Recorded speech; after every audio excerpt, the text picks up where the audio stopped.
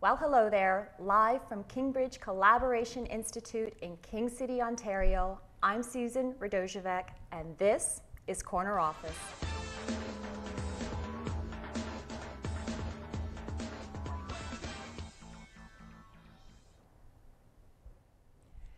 The headlines read EU drops female board quotas plan. Canada, our time to lead, women in power. We need female board quotas because men aren't listening. Research shows that conceivably 1 billion women from both developing and industrialized nations will be in the global marketplace by 2020, and their presence will impact global business significantly. Results from a 2012 study conducted by Catalyst Inc., an organization dedicated to building inclusive workplaces and expanding opportunities for women in business shows in the Canadian labor force, women represent 47.3%. 37% are in management roles, 17.7% are senior officers, 14.5% are board directors, and 6.1% are CEOs and heads of organizations. And as of July 2012, there are 30, count them folks, 30 women CEOs in Canada. The source for these statistics is the Financial Post. Norway, France, Iceland, and Spain have introduced quotas to encourage organizations to get more women on corporate boards and in top jobs. Switzerland, Israel, and South Africa have quotas for government owned organizations. And closer to home, in 2006, Jean Charest, then Premier of Quebec, insisted that more women be appointed to provincial crown corporations boards, requiring 50% of board seats to be held by women by 2011.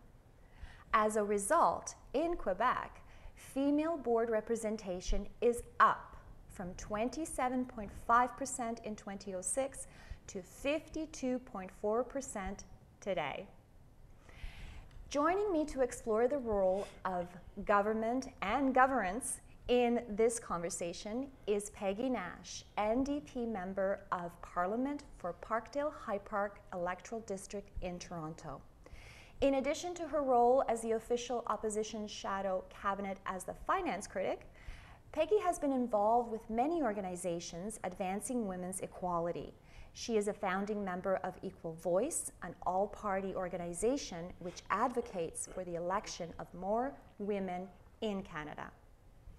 And also on the show today is our very own corner office explorer and blog contributor Shirley Knight of Shirley M. Knight and Associates.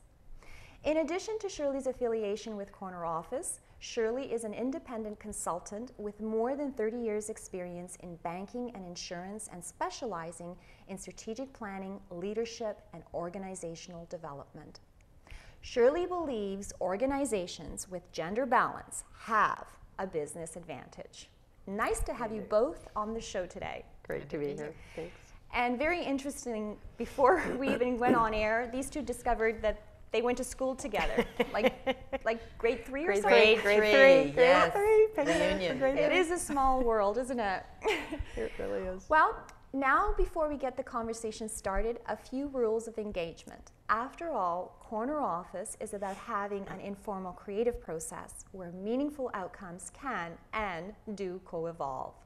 So, if you are watching us online and would like to weigh in, please use the chat tab found on your screen. If you are following us on our Twitter hashtag COLive or our agency's handle at Peregrine Agency, post your question using these channels and we'll make sure we get to your questions. Okay, with our engagement channels open, let's get started. In 2011, a record 76 women were elected to the House of Commons. There are five female premiers. Last week, two women threw their hats into the ring for the Ontario Liberal leadership race. And 21.1% of all politicians elected, provincially and territorially, in legislation and parliament, are women. So, my question, Peggy, to you first is what is the difference if there were more women in politics? I think it would make a tremendous difference. The UN says that if you have 30% of women in uh, an organization and leadership positions, it creates a critical mass. And by that, they mean that it validates their voices, it validates their views, and prevents them from being marginalized. And I see that in Parliament. Uh, right now, in the federal parliament, we're at an all time high at close to 25%. Um, our caucus has 40% women, which is, again, a, an all time record. But if you look at the average, as you've said, across the country, even in municipal politics, it's down around 20%, one in five. Um, and what that means is it tends to be a very male dominated environment. Uh, it's seen as a very non traditional job for women. And without trying to stereotype women, the, the concerns that women are more likely to raise around uh, perhaps being more concerned about health care, child care, um, uh, maybe equality in the workplace, these concerns will be more validated and will be more likely to be recognized and, and actually get some concrete results if you have more women elected. And from a governance standpoint of view, Well, I, I, just wanted to ask Peggy a question first, if I could, before yeah. I weigh in on anything. I just, what's it like uh, in a woman in politics? Like, it, it is such a male-dominated. I mean, you're throwing out numbers of forty percent, which is pretty startling, and that's remarkable. But that's kind of that's but a big change. First time yeah. ever. Yeah, yeah. so, and I think you were involved back in the day. So, so what what is it like for women in, in government, and, and how is the it, now that you're building critical mass, has it changed? Yeah, I would argue that we still don't have a critical mass yet. Yeah. In our in our caucus, we we do have more women, and I can t- I can talk a bit about the difference that that makes because there are some interesting yeah. changes. But um, I I still see, especially uh, for young women, when they stand up to speak in the House, there's a lot more chatter that goes on with uh, with men and uh, you know some laughing. I mean, I I remember reading about uh, a woman MP standing up and talking about violence in the home back, I think, in the 1980s, wow. and uh, men bursting out laughing as a result. That was the result of, of her raising that issue. So it's that it's that climate that um, tends not to validate the concerns that women raise. Um, and can create kind of a locker room environment. And now people would say that's just how question period is, but uh, you know, it's uh, there's something in there too. There's something there too. Uh, you know, conflict is yeah. conflict, but yeah. you want to make sure that you're not um, silencing or negatively uh, affecting one group in particular, in this case, women. Disrespecting their presence. Yeah, yeah. disrespecting their voice. Yeah. Because then you you lose that the value of that voice. Well, and this is you know now switching to uh, to governance. corporate governance. Um, because you're actually um, losing productivity and opportunity and productivity. Australia found when they balanced um, the governance, uh, balance management teams and balance governance, they get 20, 12% rather increase in productivity right away. So it, it's, it, it's startling actually. And it, it shouldn't be because it's not news that men and women get on well together. That's not exactly a, a bolt of lightning. But, um, but what you, the concern is when you have that kind of environment where, where people bring out a new idea and get laughed at, mm-hmm like that's the worst thing that could ever happen to Canada corporately, as a, as a government, as a society. That's the worst thing that could happen if new ideas get laughed at. And, and you know, the sort of the, the opportunity of balancing, and to your point on critical mass, when you can actually start to shift that, um, by definition, more opportunity opens up. Yeah, I've heard it described as. Uh, you know, walking around with one eye closed. There You're you only go. getting half the picture yeah. or seeing everything in black and white when you could have it in full color. Yeah, yeah, that's great. it's that you're not getting that full perspective, and I uh, I hadn't heard that number before about productivity, but mm-hmm. it makes perfect sense. Yeah. You're not getting a full perspective. So you lose that. And from a yeah, Canadian standpoint of view, um, our productivity hasn't increased since the 70s. Big Ouch, we have really? a huge yeah. problem with productivity. Yeah. Yes. So this is all. So not only is it the right move to get more women on boards and in top jobs, it's also the smart move. So my follow-up question would be, what would need to be true for the government to introduce female board quotas? They just reintroduced it yesterday, actually. Viviane Reding, who is the EU Justice Commissioner, um, represented the proposal for the EU to get more uh, women on boards, um, and she presented 40%. She had to take out the fact that if, if companies didn't achieve the 40%, that there would be sanctions put against them and fines. so she had to kind of water aggressive. it down a little bit. But um, but what about from our Canadian standpoint of view? We know the productivity is is down. Yeah, we're down near the bottom of the OECD in we terms are. of productivity. And we know that we you know research and statistics show that having this gender balance and this critical mass works for us. So mm-hmm. what would we need to do? What what would the government need to do? Well, I, I you know I, I, think the way it's it's been done in other places is you have to you have to set a goal, but have it far enough out that companies can reach that goal realistically. The last thing you want is something that changes the rules midstream, and you end up with people being put on there who aren't qualified. What we know there are women in leadership positions in governments, in firms who have the qualifications, but you you have to prepare boards and you have to prepare those women to assume those roles. So I think allowing for a transition period is important because frankly, I'm in a lot of meetings where I look around and I'm the only gal at the table. Mm-hmm. And so it's not that there aren't qualified women out there, but you've got to have some preparation in order to get to your end point. You don't go from zero to 100 like that. Mm-hmm. So I think you've got to prepare for it. But I think every time an organization like Catalyst, for example, puts out the statistics, and you just read some of them, mm-hmm. uh, you, you just uh, stated some of them about, I think it was 6% of the yeah, CEOs, CEOs are women. I mean, that's, that's women. shocking. Yeah. That is shocking. Yeah. And yeah. what that tells, and, and I notice, for example, I, I, can I throw out a name? Yes, you know, you can do whatever you like. I um, I periodically shop at the Bay, and Bonnie Brooks oh, yeah. is now the the CEO at the Bay, and I think, man, does she know the target audience yeah. of women?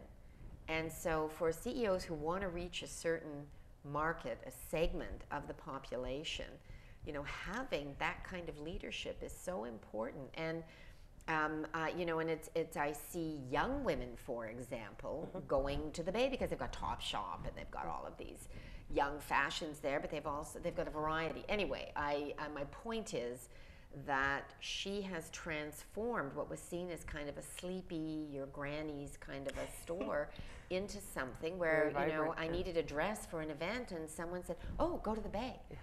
So yeah. I, I just think there's an example of how you can expand your market, build your business, increase productivity um, by having that, you know, a women's perspective. And it's kind of shocking that we have so few.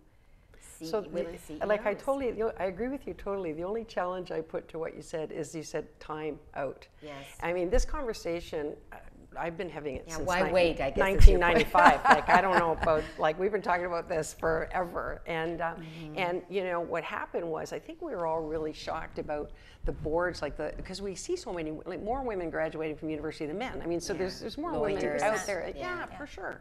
Uh, the medical profession, doctor side, not nurse side, doctor side is becoming um, dominated by women. Like the, the, it's uh, so you think, well, what's the problem? Well, um, nobody looked at the boards nobody has looked at boards because this has been going on like and there's rules rules for how you get on a board yeah. so but what's happening is um, So now you're looking at it and you're shocked at the numbers, and you know, as am I, as as are we all. But we've been shocked for a long time. Yeah, exactly. like, like, like, I'm shocked that it's still like this because Yeah. the dialogue has been so lively. But but um, what's happening now though is the role of governance is is changing because it has more rigor and more process to it now than it ever did before. And you know, the chair of the audit committee is one nervous guy now because uh, thank you Nortel for that because you know now now these this is an accountable position. And um, so that's happening at the same time that the market is becoming more global. And so there's way more complexity in the market and more diversity in the marketplace as a, as a world uh, as well. So we've got um, uh, a situation where we need more, uh, more and different thinking desperately, and we need um, people who will f- be process and rigorous and so on, and, and which you know women prove that they do that a lot, and um, and yet um, the lead time has been 25 years or 20 years, maybe 25 is a bit harsh, but 20 years, and not much has happened at all. Like really, the the rate of women on board, I don't think has changed in five or six years. Well, so this is where I think government could help. I think government. The, who looks after the governance kind of thing? And governance looks after the company, and we figured that out. But who looks after the governance? And I think, like even the threat of a quota, would change the environment. And, but you know, to Norway's point, no, and to Jean Charest, I didn't know about that, so that was uh, that was really interesting. Um, that it, it, it really does work when you do it. And I just I just wonder what you know. Well, he did it out to would like. 2011, right? He Yeah. didn't do that in From- 2010. For 2006. From Yeah, so- 06, so, yeah, so exactly. that's what I'm saying. that's is what you you're have to have gotcha. just a Okay. period Five years uh, of of. I mean, whether it's five years or three years, it's Yeah. the, the period of term of uh, of a board. So I'm not saying I let's let's that. plan Yeah, this yeah. for another 25 years, and That's maybe what I'm worried you know, about. maybe our daughters or granddaughters will benefit, or great granddaughters. Great-granddaughters. Um, no, I'm saying you you can't say it's going to change and next year this will Got happen it, because got the it, okay. terms of boards are are longer than that and um, there are lots of qualified women out there but we don't want to give anybody an excuse by saying oh if i have to do this by next year well okay you you you and you come on in you're going to Oh, sit on perfect. a board Yeah, that's a great point. That's a great because we've got Mhm. lots of qualified women There's out there tons of them. Like, yeah, they're You know, an increase, uh, the increase has been how many women got on boards has been only 0.5% since 2009. Oh wow. So so 0.5%. it's even worse than what I yeah. said. Oh god. And and Oh, so could one of the reasons be because men are be- men are at the helm, right? They're the ones that Mm-hmm. are sit on boards and they they decide who they're going to put on boards. Um, could it be that they are just not recognizing that this is important? It's not on their priority list. They don't see. They're not connecting the dots between the, the productivity increase and um, what women can bring to the table, a higher uh, stock prices and all that stuff. Uh, you know, it, could it be that they just don't see this as a as a starter? I, I think when people act the way they act, my, my opinion is it's perceived risk. And I think they, that they've locked down the board as how the board is, and there's a lot of white guys at the table. Like, and I think they've locked that down, and there, there is um, a perceived risk. For example, you, you alluded to it actually, that, you know, what if you hire, bring people onto the board who aren't qualified and aren't able, just in your quest for gender numbers. Um, so I think there's a perceived risk, and I'm not sure that there's an understanding the, the, the value that's left on the table by, by I'm not, I don't know that that understanding is out there is you're actually um, costing money to the company by not doing like money is actually being lost because um, the, the board is the, the way I don't think anybody directly connects that I, I agree with you, and I would actually even take it back a step further. I think it comes to the stereotypic perception of what constitutes good leadership. What are the qualities of a leader? Who is a leader? What does a leader look like? Good one. And I think there is a, uh, uh, uh, an old fashioned perception of this rugged individual white guy, you know, old white guy who is the leader. John Wayne who Yeah, and it is kind of the lone yeah, gunslinger yeah. kind of image. And But I'm sorry, but it didn't work for the election in the U.S. it didn't work there. It didn't Thank work. It didn't work. that. And You know? why? Because um, people were looking for something different, and, right. and there's a growing diversity in the population as well. Right. I mean, we have the most diverse population of the world. In the world, yeah. okay, yeah. I'm gonna I'm gonna piggyback on that. We do. So why aren't we open to putting in place quotas? Mm-hmm. If we do have, if we recognize that, and, and that's what the Canada is built on. Yeah, and I, I that's a good point, and I think that people are saying why can't we just get to this point yeah. naturally? Because yeah. why don't we recognize the diversity and the strength of our diversity? Which, you know, I used to be on the um, board of Invest Toronto, and part of how we market Toronto to the world is to say, we have this incredibly diverse population. That right is on. a strength. We're educated. We have these international connections. It's a good place to do business. So we recognize it, but we don't replicate it when it comes to our leadership positions and to boards, to political positions. And we, we think it should happen automatically and that the best people will rise to the top, but we fail to acknowledge what I believe are systemic barriers. And part of it is I'm going to recruit people who look like me. Yes. Yeah, I, I, I totally agree with that. And I think that these, these cultural legacies from another time are, are, in, are significantly uh, and powerful and largely invisible. They're mm. just more or less accepted as that, that's the way it is. And, uh, and they carry such power. Like those qualified candidates just don't float to the top. There, there is no get to the top because, um, because there's something stopping it. It's like you've got a filter there that's, that's actually not allowing that to happen.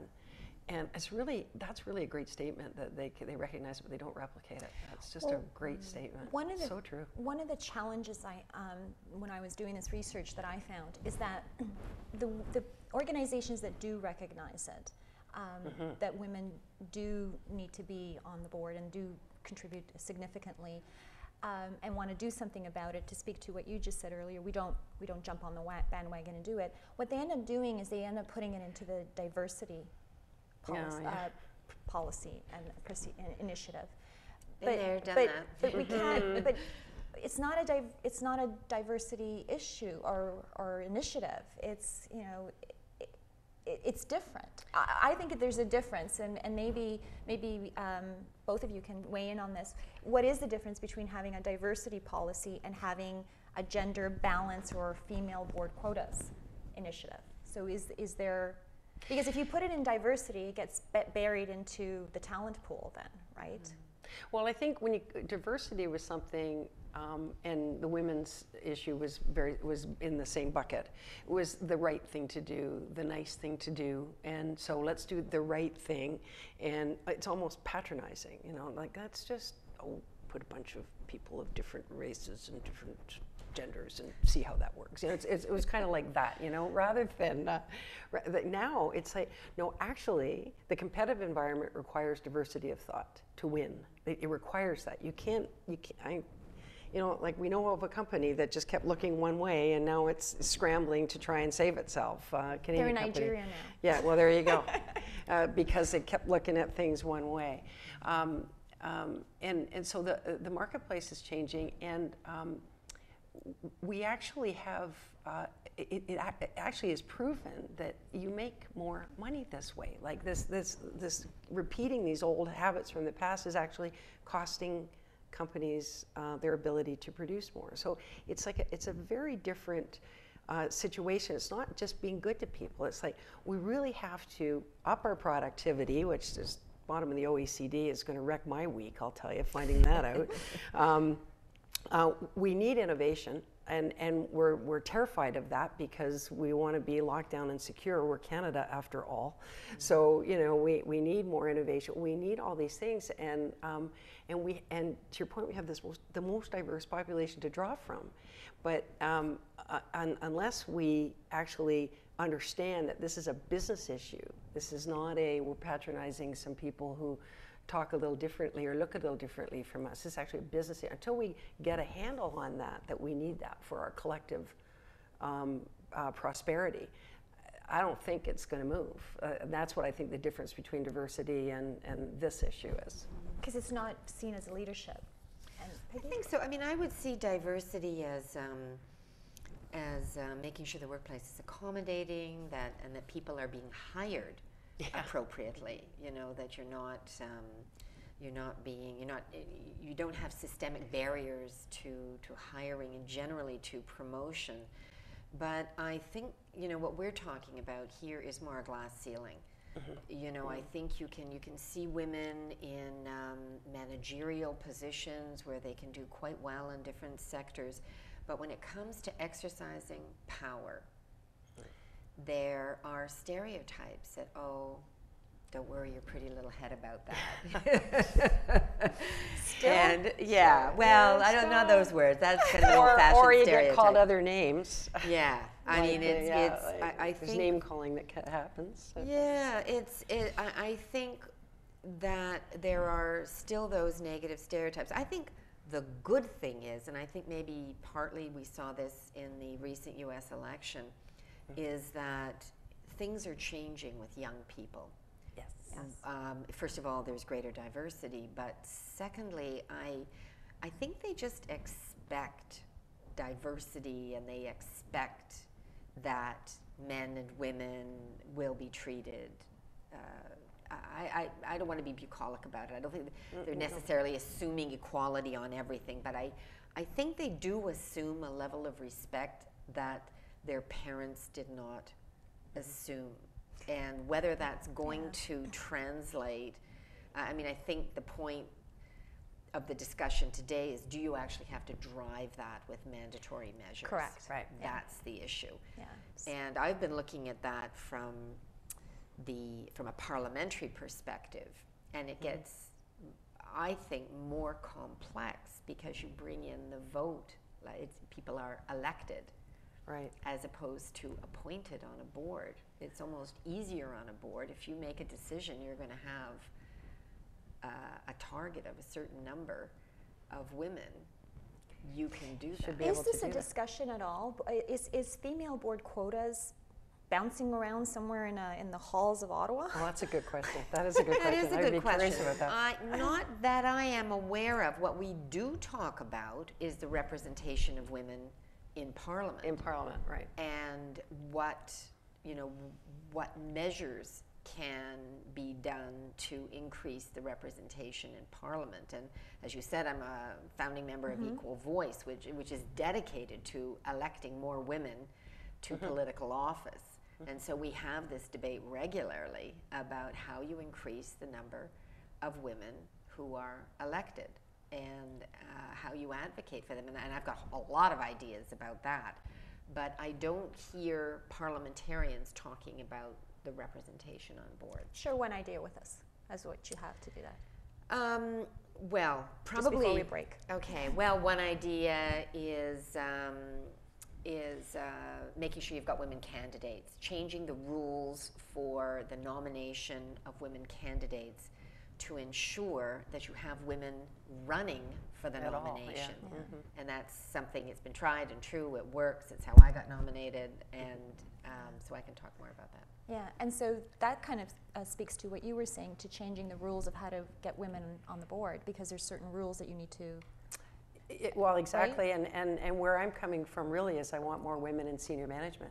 And I think until there's more women on boards, you're not going to have more women in senior management. Like I, am actually coming from, I'd like them running the companies. so, but it's got to be the the logjam is at yeah. is, is at the board level because um, I don't know how candidates are considered for board. I mean, you know, I mean, I know how they are, but I mean, I don't know how um, if anyone's saying you know what, I'd like to just look, I'd like to look at a pool that includes 50% women before we actually pick our next director. I, I don't. Imagine what that would do for political representation as yeah. well, because you'd have all yeah. these women at senior levels of business, community organizations, yeah. and uh, what, what a talent pool to draw from for electoral politics. Exactly, and what a culture it would create broadly, a corporate culture, but a Canadian culture that it would create as well. Like, yeah, no, it would be. Uh, Wow, good. good. Good discussion for the first part. So we are going to take a short break, and when we return, Peggy Shirley and Shirley uh, we'll answer your questions. Uh, don't go away. This is Corner Office.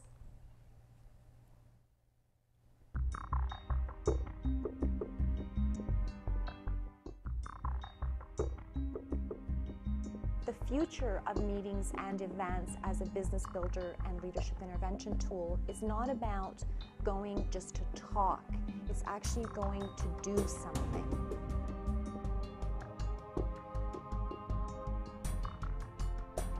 Dealing with corner office, one thing that where I thought was found huge value in this was the preparatory work.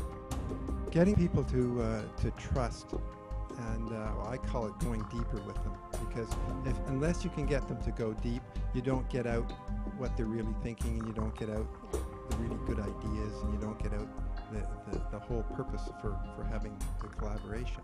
Having the, the live people here and the online and, and having the both both brought in. I really like that as opposed to just having online or just having live. And uh, they actually walked us through a whole process and asked us some tough questions. If you're going to be put in front of a camera and they ask you, you know, why do you exist? I thought that was just a stroke of brilliance. An, an, idea for them to take away like some of this take some of this brilliant conversation and this is how you might consider beginning to apply it slowly into mm-hmm. what you do in your daily life in one small thing to get them to start shifting. This arrangement was very conducive.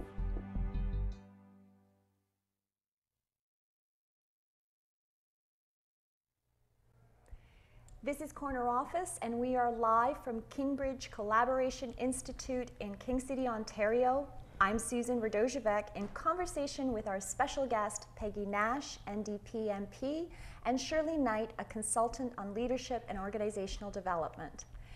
We are continuing our conversation on female leadership in business and politics, part two in our women's series. So, just before we broke away, uh, we were having a really great discussion about how the government is not talking but needs to talk. yeah, yeah, right. Government not talking. Hmm, we talk a lot. Yeah. but needs to talk about this issue and, and uh, from a governance standpoint of view, as that Shirley believes very strongly that this needs to come from the top down. You need to get more women on the board on in the order board. to drive more women in leadership roles, senior roles. Senior roles. Mm-hmm. So um, a question that came through, which kind of speaks to the to, to this quite well, is how would you respond to people who say female board quotas is a token gesture?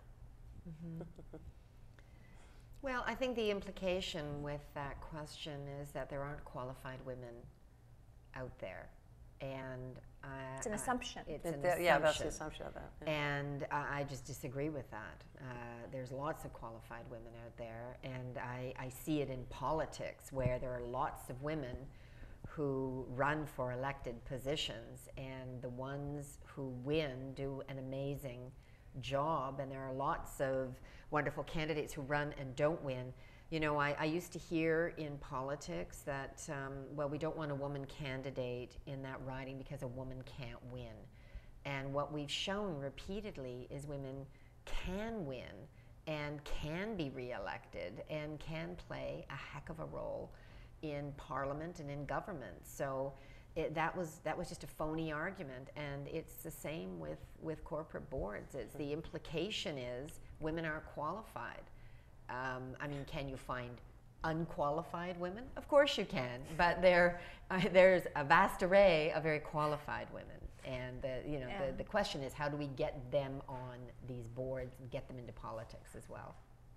Yeah, I, I, think I think that's really true. Um, the the the token thing is. Um, uh, is that's a standard argument. You know, that's the you know we'll do token this, and that's all it is is a token gesture. Um, but the I was reading this thing with Deloitte's um, uh, yesterday about the rule of three, and one woman on the board is a token. There's no question that that's a token for sure. Two women on the board is a presence. Three women is a voice. So it's getting you're, you're like your 30%. Assume a 10 person board. It's you know basically the numbers work out to mm-hmm. what you were saying about government 30%. But um, so it isn't a token to build a voice. That isn't the token. It's a token to pick one woman and put it and say, okay, check it off the list. Good, we're done now. Let's get on with the real job. Um, that's tokenism. But but to actually want to build a voice and critical mass that is rep- representative. I, you know, there found out that Expedia. I don't know if this is old information. It might be year old, but they they, ha- they have no women on their board. I mean, are you kidding me? Everyone, like 80% mm. of all travel decisions are made by women. I, and like, why would you invest in a company that's that crazy? Like, what are you doing? You know what I mean? You don't have your market at the table? Like, that's just, that's just insane. So if it's, if it's not uh, a token, um, some people perceive it to be problematic by implementing board quotas that it will cause other problems. It, it seems to me like from, me, from, from my perspective, it seems to be that it's a perception that needs to change, yet there really isn't a need to change. There's, it, there's a perceived need that there isn't a need to change. Yeah, yeah, Does that go. make sense? It's easy know? for you to say. So it's no, seriously. It seems to me so. So what's why would quotas um, in some cases be problematic? Would quotas be problematic, and and would be probably pro- problematic for those people that don't want their perspective changed? I was going to say it's definitely yeah. problematic if the status quo is working for you exactly. and you don't want to change. Exactly. So if me and my buddies are all swell, just as we are, yeah. Um, you don't want to, you know, for people who don't want to change, that's that's a problem. But I find it fascinating that some of the most successful economies, um, you know, Scandinavian mm-hmm. countries, mm-hmm, yep. some of the successful European countries, although that's getting harder to find, but some of those countries are are moving to a requirement for gender representation. Mm-hmm. I, I, just uh, you know these are these are countries that maybe are known for being more egalitarian. Yes. they they have better representation in politics and probably that's where these board quotas are coming from is they have more women in politics and they're saying well in the private sector maybe we have to make that mm. change as well and could it be population driven too? Norway, I don't know what the population of Norway is. Maybe it's a smaller population. You might, They're about five million. Are they? Yeah, yeah, five million. And I and I think I th- yeah, that's true. And I and I think your point on egalitarian is um, is uh, is a strong point. I mean, I think they culturally. It doesn't surprise me that it started with the Scandinavian country because they, they have less of that what shocked me was that Belgium and the Netherlands are behind Canada in the, in the number. So that's what shocked me in the Deloitte report. Um, but I think that uh, what's happening in Europe is they're, they're understanding diversity on a really large scale. I mean, how many countries are there in the EU? And they have to find ways to agree on giant issues like fiscal, monetary policy, all kinds of things. How's that working for them? Yeah, yeah, exactly. so all of a sudden, like one point of view isn't going to cut it, and yeah. you know, and so I think that's I think that's where the incentives coming. Um, I, am not for government involvement at all. I, I, I, more government is not like that would be. I, I get a little Mitt Romney when it gets shoot me now, but uh, but um, but I think that um, you know, uh, the, there was a saying um, once about DOS. Remember DOS, the operating system yeah. of the computer? You couldn't change DOS from inside DOS. You had to, for anyone to change actual DOS, you had to go outside DOS and stimulate it to, to and do something to make it change. That blinking green light. Yeah, uh, the blue screen of death. But never mind. Long memories. But um, but I think this is the case here. And this is why, although I would, I don't always look to government. In fact, I rarely look to government for, for the solution. I really believe that business is business, and and it and it can work. But this is a case. I think we got a little bit of DOS going on, an operating system on governance that is has not been touched. And I think the only way it can be touched is from the outside, and then now I start to look at government. You know, and Even Shirley, but just on on that, you know, Canada, in terms of the representation of women in politics, in our elected representation, we are 40th in the world. Oh gosh. 40th. Oh, that's so. Horrible. If that doesn't kind of Sober make a bit of a downer for the day, really. So I like personally think there oh is God, really? a connection yeah. between the lack of representation of women in our parliaments and city councils and the lack of representation in the private sector. And, you know, which comes first, the chicken or the egg? Where we've seen governments implement changes, boards have made the change. Now, I'm sure there are examples of boards that today are wonderful and diverse. For sure. And, you know, There there are. are those um, six percent of the companies that have women CEOs, and uh, you know, 30 of them. 30. There's 30 gals. Um, 30 gals out there. Yeah. but, you know, we are 40th in the world. There are many other governments that are far ahead. And, and yes, many of them are European, but some of them are African and Asian. I mean, we had a woman prime minister very, Very briefly. shortly, Very yeah. briefly.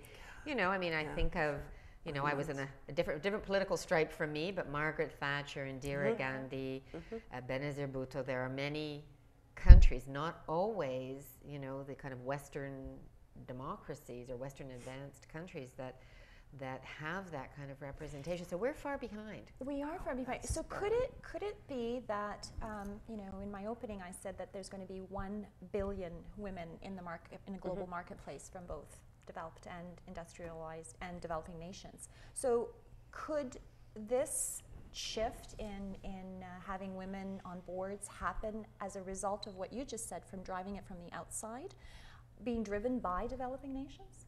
So, to some respect, um, having more women on boards and in, par- in parliament, in, in politics, in developing nations, because we're coming to become a global village, um, forcing the industrial nations to actually really step up. it's an interesting perspective. I don't know. you know, one thing that we know. talk about a lot at um, in electoral politics is that countries that have different voting systems tend to have better representation. So, for example, it, where you have proportional representation, um, you can you can say, well, we want to make sure that a minimum of 30% of our elected representatives are women, or 40%, whatever.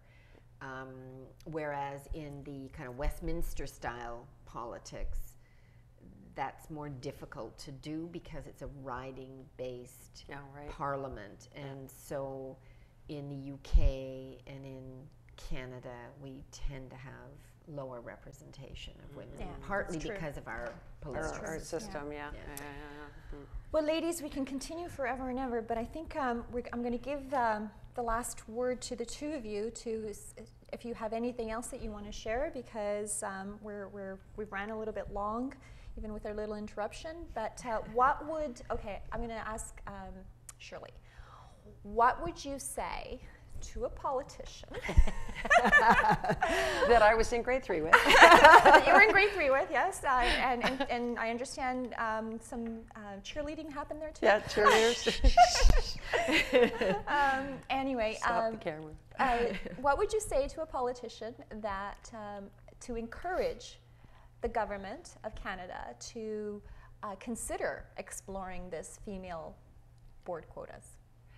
Um, well, I would say, you know, what I, what I hope I've said, but I, but I, I would say that um, I really believe there's a role for government here. And I really believe that the dialogue at the government level would be profoundly useful in, uh, in, for the corporate world. And um, I know of a situation, which I won't give the details to because it was of the bank, but I know of a situation where a prime minister called the CEOs of the banks and said, change what you're doing or I'll make you. And they changed what they were doing like that. So they didn't have to be made to do No, it. they just had to know that someone was like they're now they're they're accountable here, and if you don't, there are consequences. And so I'm not saying I wouldn't say to government, I want you to have a great debate about 40% uh, legislation boards by 2018, but. Um, but the fact that the conversation's alive and that you would even contemplate quotas, I think, would make a difference. I think that would be enough, just that conversation. You know, I think you're also making the point that uh, leadership at the top can drive change. Yes, absolutely. And if it, they set the tone. They set the tone, and if it becomes a priority, you can send that signal, and you don't need those, uh, you know, the guillotine to yeah. enforce something. No. You can say, here's the expectation, just as you said, Shirley, that if you don't do it, we'll be forced to legislate it. Yeah. But here's what we want to see happen, and then hold them to account, yeah. I think could make a tremendous difference. But what I'm taking away from this discussion is that in addition to our discussion in Ottawa about how do we increase the number of women who are elected, uh, is that we also need to be talking about how do we make sure that we have that kind of representation and the voices of women in equal numbers on our boards across the country. That would be fabulous. That would be wonderful. So maybe a year from, or a couple of years from now. Yeah, maybe let's, not let's a year meet from again. Now. see how we're doing. A couple of years from two. now, we can yeah. see uh, how, we are, how, how we're, we're doing. doing. Maybe we've raised more than third. Maybe we'll have 35 or 40 women. yeah, or 55. well, thank you very much, both Peggy Nash and Shirley Knight, for being in Corner Office today. This episode will be available for viewing next week on our website, theperegrineagency.ca. If you have thoughts on today's show, go to our website and click on the agency blog and post your comments. Find us on Twitter. Our hashtag is COLive or follow at Peregrine Agency or me at Susan Radojevic. Thank you, Maria, Aaron, and Hugh, our corner office production team, and a big shout out to our sponsors and partners coming up on your screen. Check them out. And last and certainly not least, Thank you for your participation today and patience. For Corner Office, mm-hmm. I'm Susan Radojevic, logging out.